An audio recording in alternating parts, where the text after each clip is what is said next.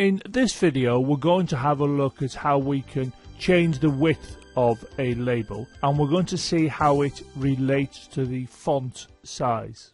Let's consider this computer program and you can see that we're going to be creating three instances of a label and then those labels are going to be packed onto the window. And these three lines you can see are the usual ones we need in place when we're dealing with TK Inter. If I have a look at the first label, we can see that it's going to be associated with my window, which was the window that was created on this line. The text is going to be Hello World. The background colour is going to be red. The foreground colour is going to be white. The font is going to be Times and it's going to be size 32. And the width we can see is going to be 20. Now if we have a look at this instance that I'm creating, everything in the bracket is the same apart from this parameter here. You can see the width has been changed to 30, whereas previously it was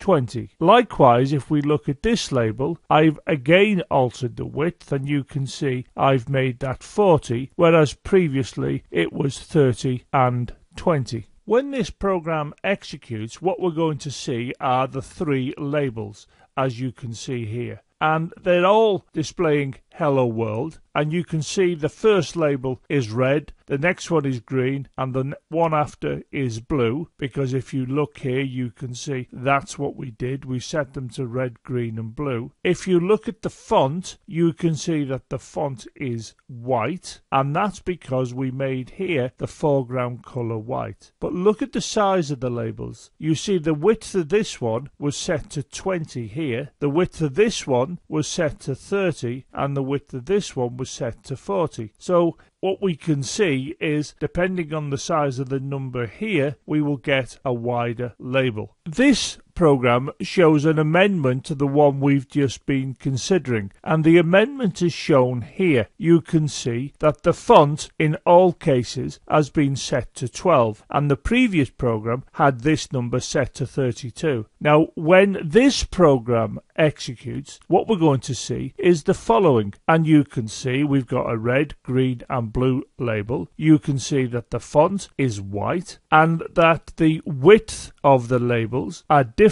because we've set the width to 20, 30 and 40 as you can see here. But you should note that the labels are not as big and not as wide as they were for the previous program. Now the only thing that's changed in this program with respect to the previous one is the fact that this is now 12 and not 32 as it was before. Let's therefore concentrate on these snippets of code that showed the changes. Here's the first snippet here for the first program we saw and you can see that we have here 32 as the size of the font. If we see this one executing what we will get we will get this and you can see we have the three labels and you can see the size and the color and the color of the text is white as you would expect because we've already discussed this. If I now have a look at this snippet of code you can can see this is the snippet that showed the fact that this has been changed to 12. Now, if we have a look at what this program produced, as we've already done,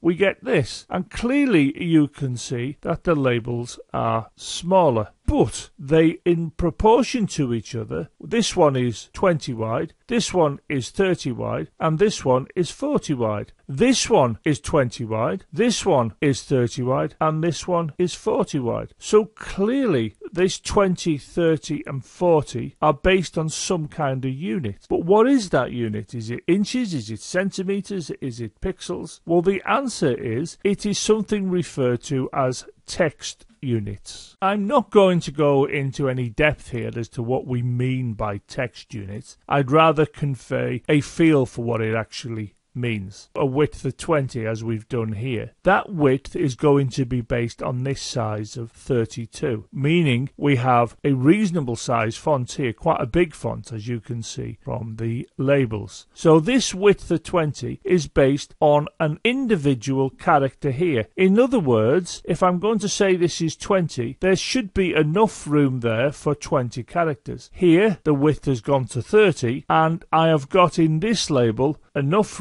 room for 30 characters of this size of size 32. Now if I come to look at this one, this label is still 20 wide, but it's 20 wide of text units, where the text units now are based on the size of the font expressed here, where the size is 12. Likewise, here you can see the width is bigger, but it's not as big as this one. Now that's because for this one, the text units were based on a size of 32, whereas this one, the text units were based on the size of 12.